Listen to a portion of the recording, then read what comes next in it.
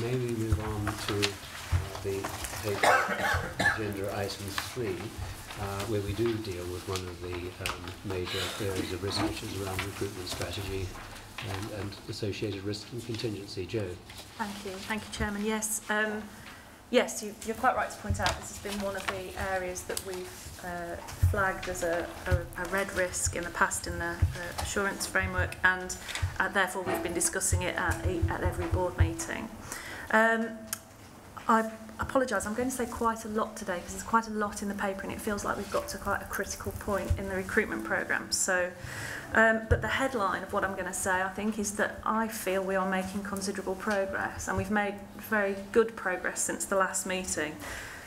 um, whilst achievement's still challenging because of the scale and complexity of what we're doing, and we mustn't forget that the Commissioning Board is the biggest of the, the new bodies in the new system, I am cautiously optimistic that we are going to hit the targets on the recruitment strategy now.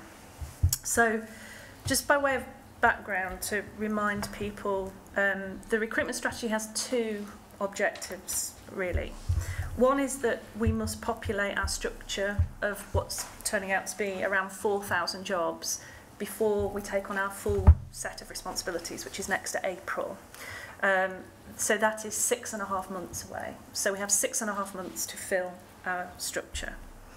Um, the second objective is one that we've talked about a lot at this meeting, and, and obviously we talk with partners about quite a lot, which is a system-wide agreement that we have with other receiving bodies and sending organisations. The commitment is that the 48,000 staff who are affected by the reforms in the, the NHS and the Department of Health will know if they've got jobs in the new organisations by the end of December. So that's three and a half months away. And the, uh, the reason I point the two objectives out is they are slightly different. So, that, so in terms of delivery, We are not saying we fill all our jobs by the end of December. We are saying we, um, all staff in the existing system will know whether they've got a job in our organisation by the end of December. By the end of March is our deadline for filling jobs. What, this, what the December target means in practical terms, just trying to break it down in terms of what that means we need to do. Um, we need to have completed our organisational structure down to every level of job we need to have um, shared it with sending organisations, given it to them, um, had conversations with them about whether there are any jobs in our structure which are currently being done by someone in the existing system, and we call that job matching. So is there a match to one of our jobs to a, a match in the existing system? And for where, where that happens, staff will transfer in. Um, and where there is not a match to the job, we then run a recruitment process that is limited in competition terms to people that are at risk in the existing system. So that's what we need to do by the end of December. And in some areas we've already done that, and I'll, I'll go into more, to more detail about that at the moment. Um, but in terms of progress since the last meeting, um, I'm very pleased to say the structure's now fully complete. So we now know exactly how many jobs we've got. We've got 3,963 uh, which is slightly more than our estimate, our, our very first estimate of 3,500, so that's good news. Um, we've shared the structure with sending organisations, um, and for eight of our nine directorates, we have broad agreement with senders about where we've got matches and where we're going to advertise jobs. So they're progressing. Um, We're also making very good progress to recruitment to what we call very senior manager posts, VSM posts. They're our most uh, senior management jobs. Uh, almost all posts are now live, by which I mean uh, uh, there's either a matching conversation going on or there's a recruitment process in train for those jobs. And the majority of them will be filled by the end of September. Um, five out of nine directorates have already hit the December target for VSM jobs. um, and two directorates have achieved it at 80%. So in, we've nearly hit the December target for the e SM posts, and I'm pretty confident we'll be much closer to it by the end of September. And the reason we started the VSM recruitment is really vital because it unlocks the recruitment process for the rest of the organisation. When we look at our structure, the average span of control is three people. So the average manager has got three people who recruit them, which means that every manager's got three people to recruit. That's an average. The maximum spans nine, but that's unusual. And there are five layers in the, the core structure of the um, organisation. There are slightly more in the operations directorate. So that gives you an idea about how recruiting a VSN can kind of very quickly uh, accelerate recruitment to the rest of the structure. We've now also started recruiting Agenda for Change staff. So where we've recruited a VSM, we've straight away allowed them to, to get on and recruit their people.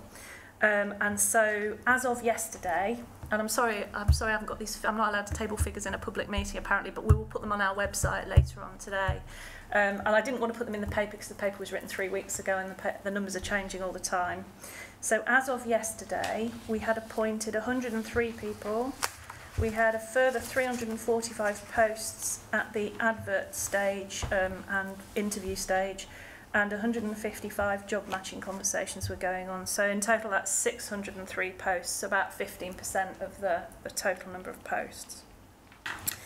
Um, in terms of process progress that we've made since the last meeting, I think you'll recall we talked about the fact that uh, the processes were rather slow and we need to speed things up a bit. I'm pleased to say that we agreed with the, the trade union colleagues that we could reduce the number of uh, stages that we would go through for VSM recruitment, and that is helping enormously. We're having a similar conversation with them about Agenda for Change recruitment, but we haven't uh, finished those conversations yet.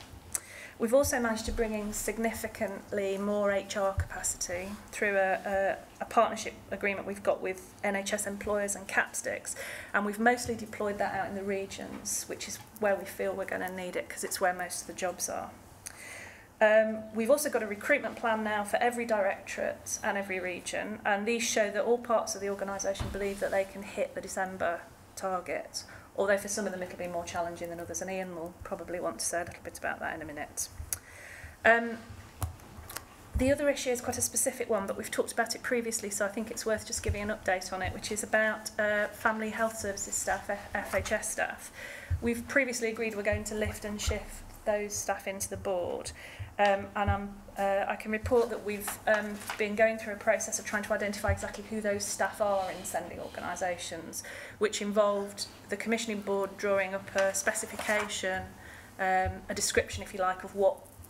what was in scope, what we mean by family health services functions, and senders have been identifying which staff work in those functions.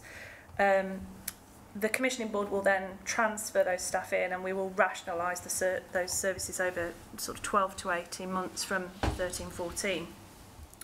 Um, we've had initial returns from senders and it looks like there are about and a half thousand staff um, who currently work in FHS services. They're on top of the, the nearly 4,000 staff in the core structure. Um, but I give you that uh, figure with caution because there, they're the first cut returns. We're just checking that they're all complete and doing some validation on them. So, um, but that number, that and thousand number is in the order of the magnitude we were expecting, so that's good. Um, so good progress, making me more optimistic, I think, than I was last month. Um, and my analysis of the risk, I think, suggests that we will certainly be okay in the National Support Centre. Um, the area of most risk is in the regional and local area team structures, which I think Ian will say something about in a while. But um, the reason for that is the design of that bit of the structure took longer. It was immensely complicated. Without going into lots of detail, there were lots and lots of issues in there that needed to be uh, worked through. So it's understandably taken longer. And it's also where the majority of the posts are. So it's where the scale and complexity is. So, so that's the bit, I think, which is still the remaining risk. However, having said that, uh, all four regional directors are um, telling us at the moment that uh, they feel they can hit the targets. Um, we've shared the structure, the ops directorate structure with sending organisations and they're coming back to us with initial views this week on whether they feel bits of it are matches, bits of it are recruitment. Um, however, you know, we've always said this is this is potentially high risk, and it would be. Uh, it, it's really important that we do think about contingency in case we we don't hit it. Having said all the things I've said about being more optimistic, um, and um, we we do need a, a plan B if plan A doesn't uh, quite work. So. Um, we need to think about what if by the end of December we haven't concluded all the job matching conversations with senders, or we haven't made all our posts available to staff at risk.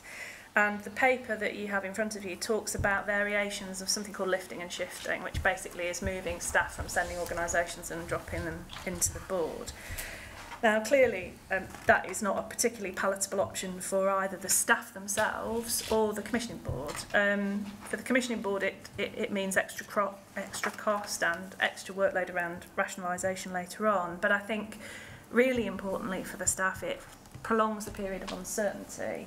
Um, and um, the important point to note is lift and shift isn't a permanent solution. It doesn't create more permanent jobs. There's still only going to be nearly 4,000 jobs. Um, so have so for those reasons, if we do have to activate lift and shift, I think my advice would be it should be as targeted as possible. And having talked to Ian about this, I think our view is that certain bits of the organisation will easily meet the December target. It would be nonsensical to have a massive list, lift and shift into the organisation. Lifting and shifting people into parts of the organisation where all the jobs are filled is, is ridiculous. So um, I think this should be as targeted as possible if we if we need to use it and I hope we don't and it should probably be geographically specific um, and uh, I hope that um, I hope that kind of I've explained that in a way that makes sense because I think it's um, it's kind of um, it's one of these things that I think people are talking quite a lot about at the moment and there's a there's a lot of commentary about it and I think we just need to be very clear about Uh, what we mean by it. And uh, the other thing I would say is it is too early at the moment to trigger those contingencies. Absolutely too early. Um, we still we still feel that December target is achievable. Pace is picking up. Um, clearly, lift and shift itself is not without workload or downsides. Um, so if we need to do it, I think we'll um, you know, we will need to make a decision about it later, probably towards the end of October, beginning of November, recognizing that if we do do it, there will be a workload associated with it. And if we're going to do it by the end of December and identify the staff involved by the end of December, we'll need a bit of time to do that. Um, so that's the December contingency thinking. in terms of the March target, I think contingency is slightly more straightforward. So if by the end of March we still have vacant posts in our structure, I think the executive team will have to assess this on a, a directorate by directorate basis almost. So I was thinking, as an example, if at the end of March we have a 2% vacancy rate, which is about 80 jobs, 80 jobs spread across the whole organisation is different to 80 jobs um, in particular functions um, and therefore the, the contingency arrangements we might make might be different but broadly we, we're not thinking about lift and shift for those kinds of things because by that point we will have been through staff at risk in the existing system so contingency actions for March will be things like bringing in interim support asking staff we've already appointed to take on more responsibility or to cover a bigger geographical area in, in Ian's case Um, we might, if we've had particular problems recruiting into a particular bit of the structure, we might want to have another a look at the structure at that point. But I feel that that's something the executive team should assess in the new year. Um, finally, I just want to turn to the issue of diversity. Um, the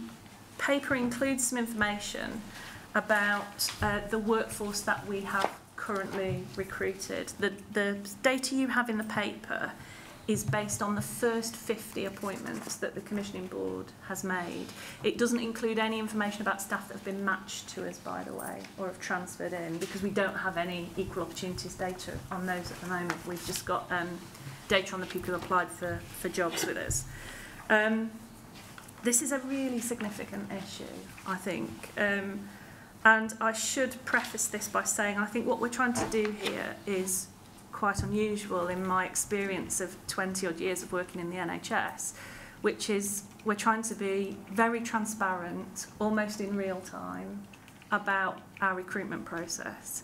So we're not waiting until we've filled our 4,000 jobs and then saying that's what our diversity profile looks like. We're trying to do it almost in real time. And we've done that purposefully because we believe diversity is important. We um, are committed to transparency. And I think we believe there is a strong business case that says if you have a diverse workforce, you have a better chance of improving outcomes across the range of services for patients. Um, so the data doesn't make for easy reading. I think um, it's fair to say. While some areas, some small areas, we're doing okay, disability, we seem to be doing well on employing people over the age of 60. Um, there are some big issues around gender and ethnicity and some other factors. Um, so this is always a very challenging issue in my experience in the NHS and I, so we have taken some actions um, already. I'm not sure they're enough. I think we, we need to do more. We have been training our recruiting managers. Um, I've made personal contact with BME candidates on leadership programs. We've been looking for executive search solutions that reach into underrepresented groups.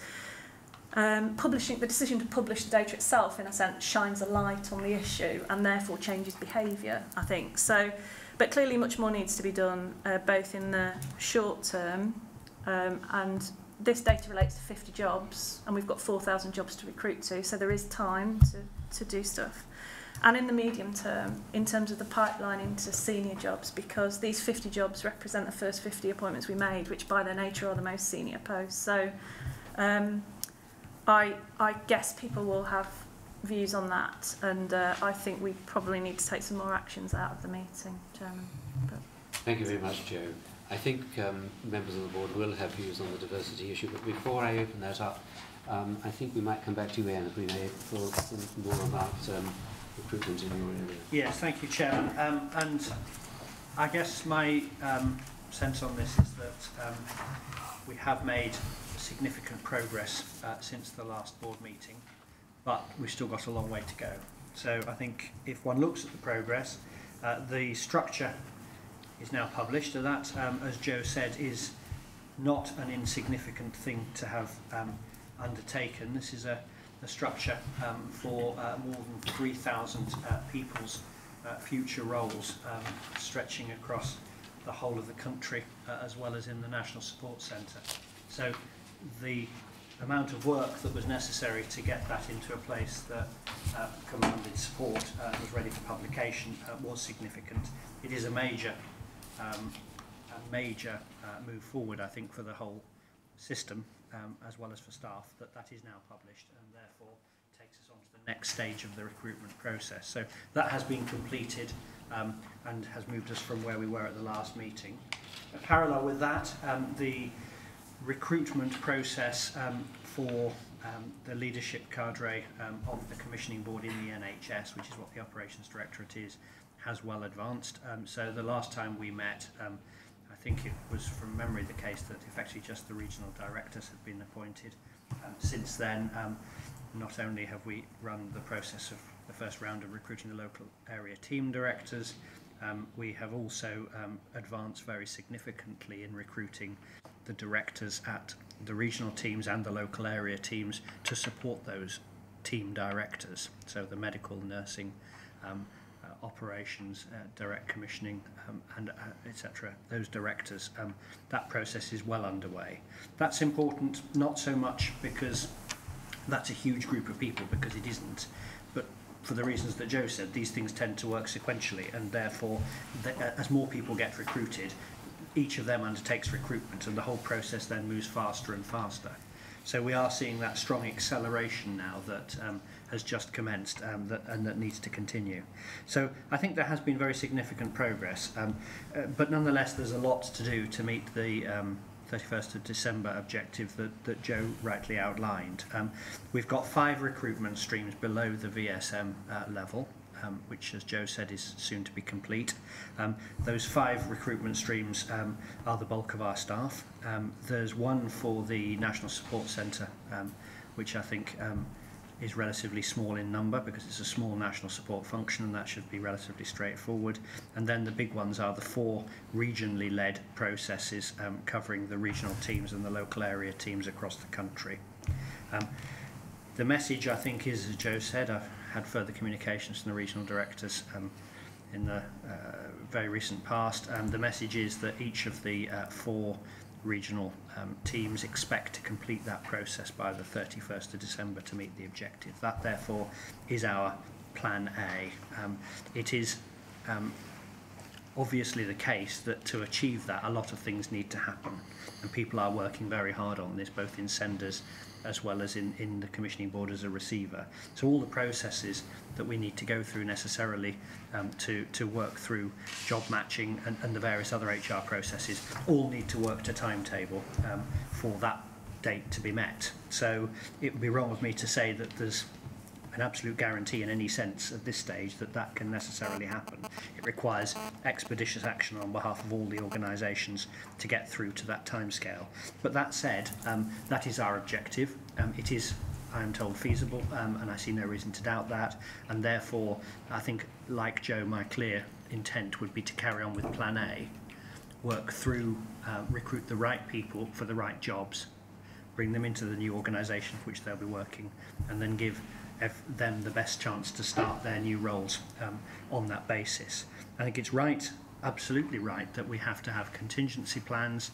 I very strongly support Joe's suggestion that um, in the hopefully um, in the hopeful, hopefully unnecessary case that we would need to have to have to deploy them, they should be as limited as possible. Um, and we will have to deal with that if and when we feel the time is right, but the time isn't right now. Certainly my sense, Chairman, um, is that we have to stick to plan A and um, at the moment that certainly looks like it's feasible and the operations director I think is united in working with senders to try and make that happen. thank you both very much. I think there are two issues from this. The diversity one we'll, we'll turn to in a moment. I think the first issue is the sheer intensity of the recruitment process yes. and the desirability of recruiting individually the right people uh, into each post. Um, lift and shift is not a recruitment strategy, uh, and it doesn't um, deliver any of the qualities that we wish to bring into the organization if it's, a, as it were, a linear transfer. Uh, so whilst we understand that the essential need to have a contingency plan, I'm sure the board's wish would be that we didn't have to call upon it. Agreed. And that we were able to use what you described as effectively a snowball effect uh, hmm. of recruitment to be able to be in a secure position by end December and of course by, by end March. Can I take some observations on the recruitment processes and the risks and contingencies before we turn to the diversity issue? Moira. Um, to endorse um, what you said, Chair, and again what Joanne said about um, listenership being um, a, actually a, con a continuation of uncertainty, but I wanted to ask a, um, a question about the practicalities because we're talking, of course, about people being appointed. Mm but people taking up posts is a different thing. And yes. what's, um, you know, we've got a whole set of organisations that are losing people but still have functions to carry on. And uh, where is the oversight? Because a number of colleagues around this room have got two jobs and mm. uh, a foot in both camp, and that it, it's important again that. Um, we have a concern for that, mm. um, that, that process. But you know, how many people are able to take up jobs, and uh, and will there be a big bang, as it were, finally when um, uh, reach the, the, the inauguration date, as it were, or you know, how's that going to work?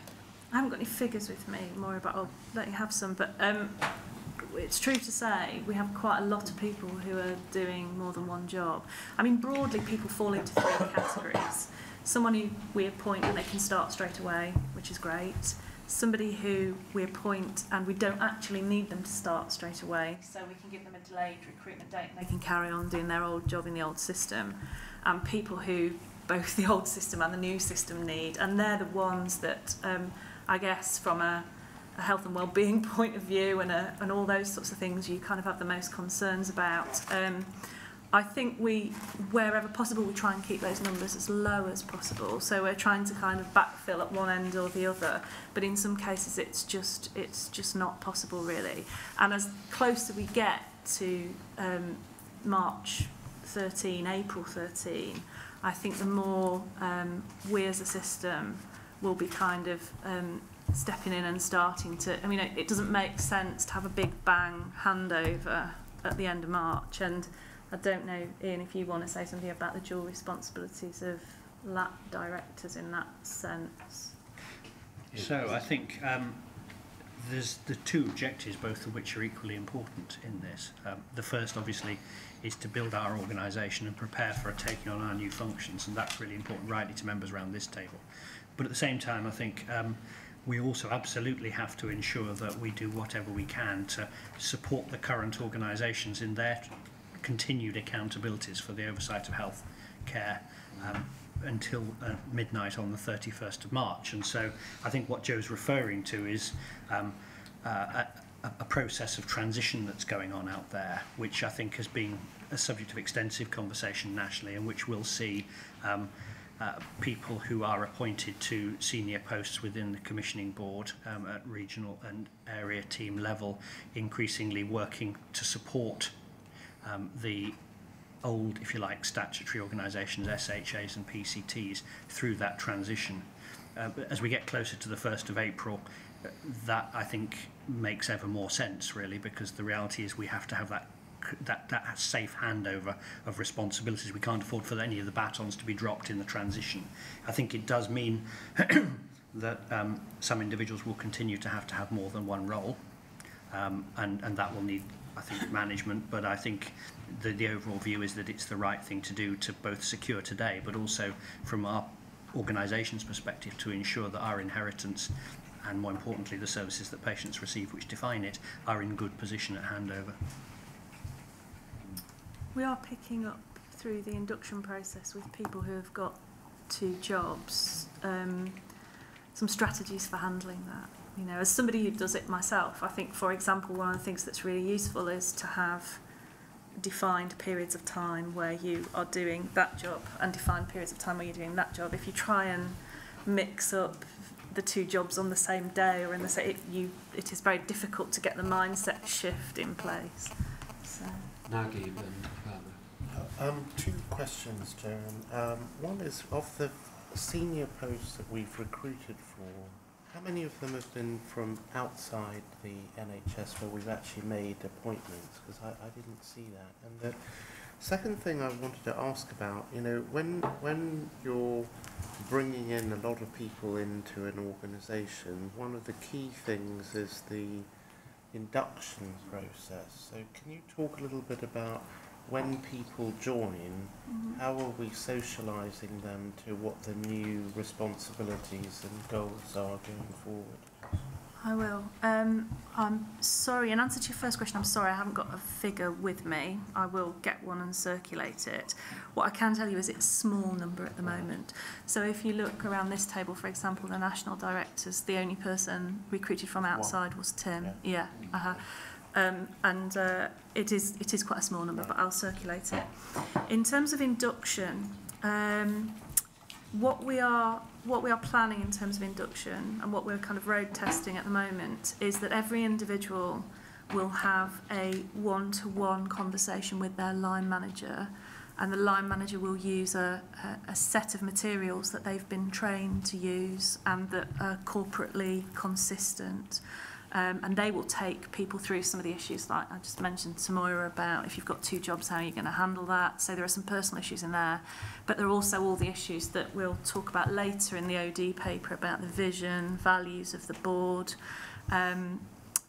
uh, we are trying hard because we know that there is an evidence base that successful organisations have a strong sense of shared purpose amongst their employees. So what we're trying hard to do is as employees come in, get them to build on that vision and values stuff. Um,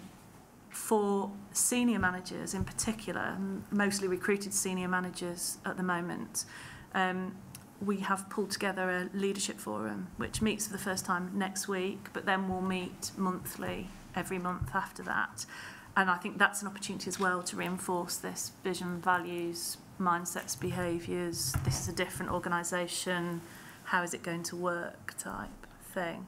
But the plan at the moment is rather than have a a program, a course where we bring people into a room, we will use a combination of events that we already have in the diary, like the leadership forum, and one-to-one conversations with individuals.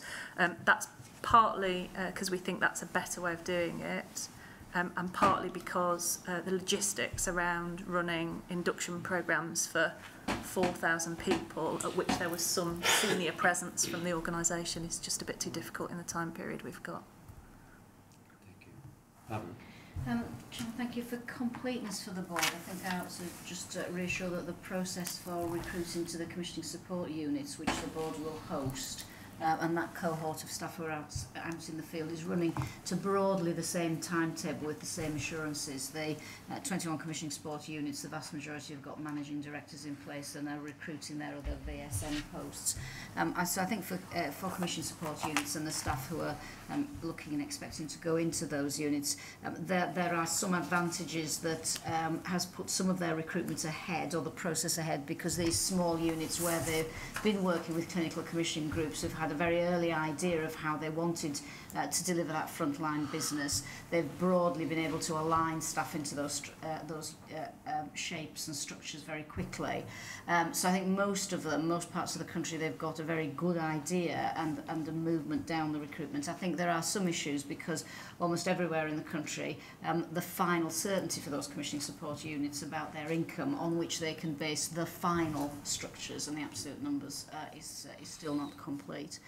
Um, but the the recruitment does proceed proceed in line with and at the same pace for the uh, staff in the NHS Commissioning Board uh, mainstream. Thank you. Shall we then turn to... I was about I was to turn gonna, to... I was just going to ask a question mm -hmm. at risk. Have we considered, or is part of our analysis of the risk, um, how we hang on to good people, I use that term, you know, lower down, because it is a very anxiety-provoking period. And yeah. what tends to happen is that people think, you know what, yeah. I'll get a job. um, and it yeah. might not be a job. Yeah. Um, got any sense of that? Yeah, I mean, it, it clearly is a, is a risk. I mean, and, the, and this process has been going on for quite a long time now, hasn't it? So I'm sure in some areas good people have, have gone. Um, one of the things that I just want to go back to what Ian said about um, you know, the kind of pace that you can move at once you start recruiting people. And from my point of view, what I'm pushing um, is as soon as somebody's recruited, they get on. You know, they get on and recruit. I also think we're looking at the moment at an option around um, where we can do um, generic recruitment to certain grades, which might mean that we don't go right down the organisation. We might say once we've got people who can recruit, we'll recruit a load of people generically at that band, good people. and then we'll assign them to jobs. Kieran did. Can I ask a question around um, programme budgets um, in the sense that, that it impacts the recruitment? If, you know, if you think of networks, for example, uh, there'll be some people who'll be funded out of a core pot, then there'll be programs which will fund some other people, and then CCGs at some point will say we want to commission yeah. a program here and managing the recruitment of that through that process when this recruitment process will only deliver a certain number of, of the jobs, but actually time will deliver the rest. How, how do we synchronize that so that, I suppose, in a way, linking to Victor's point, that we retain the intellectual capital which does mm. exist in the sending organizations? I just thought my financial advisor. Is that how that works, or is it? it it's a mixture, but I think the, the, the, the the most helpful answer is where we know about them now, they've been built into the structures we've designed. There are some examples of that in the operations directorate where, for example, the, the resources supporting the clinical networks in the regions and, and localities have been baked into that structure. So as we recruit to the structures for the operations directorate, they'll get recruited as well. You're right, there's a more fluid um, set of programs that get set up and disestablished at any point in time, and I think that has to be a bit more ad hoc uh, recruiting into those as the as the programs themselves get launched. Can I come on to the diversity? Um, yes, if, if, if, if, we're okay, we've um, the rest of it. Make diversity. sure we have, have, time for this. I mean, I, firstly, I applaud uh, publication of where, where we are. Um, I think that's right. Um, but then there's quite a big but, uh, because we did set out with a very clear ambition to be an inclusive organisation, to represent the work we do, and the um, benefits of living in a rich and diverse society. Uh, and where we are, uh, quite frankly, if you follow that trajectory, uh, we're not going to meet those goals and, and, the outcome won't be satisfactory. So, I mean, I do think that, that there's some really serious stuff that we need to, to do here. Uh, and, and, firstly, I think we need to look at the short term and whether we are doing enough, um, whether we are um, having the right types of interview panels, um, whether we have really review job descriptions um, at the risk of zoning people out uh, because of, of, of, their experience, uh, whether our whole imaging and comms um, is, is, is, is, shutting people out because we can't, even in this round, follow this trajectory uh, through. I think there's then some, some serious deliberation we need to make, Joe, about um, the medium term. Um, I think we're in a situation where um, I would like to see us discuss targets uh, for an organisation which, um, which reflects the communities in which we, we, we live and work. Um, and then set those targets for managers to achieve uh, over a cycle. I think it's been a successful way of doing things in, in, in the private sector, not perfect, um, and I think we do really have to, to do that. I recognise your pipeline is not uh, where you want the pipeline to be, but we have to maximise what, in the short term what we have in the pipeline and then make sure we grow and, and, and, and build a pipeline uh, for the future. So um, it's, a, it, it's a sharp comment quite deliberately, I think, because uh, this is one of our most important people aspects, I think, for the shape of this organisation. Um, Thank you, Ed. Victor, was... Um, can I support Ed's point, but, but also make, you know, congratulate you in a way, because I, I think this is probably the you know, rather sadly, the first time we've had this kind of transparent approach to this issue, and usually we find out um, only too late when the impact of not doing this properly is built into the organisation. Um, three things. First of all, this is part of the result of history. You know, this is this is not just about what we're doing with the development of the commissioning board, and we should remember that and not be defensive about it because I don't think that's particularly helpful.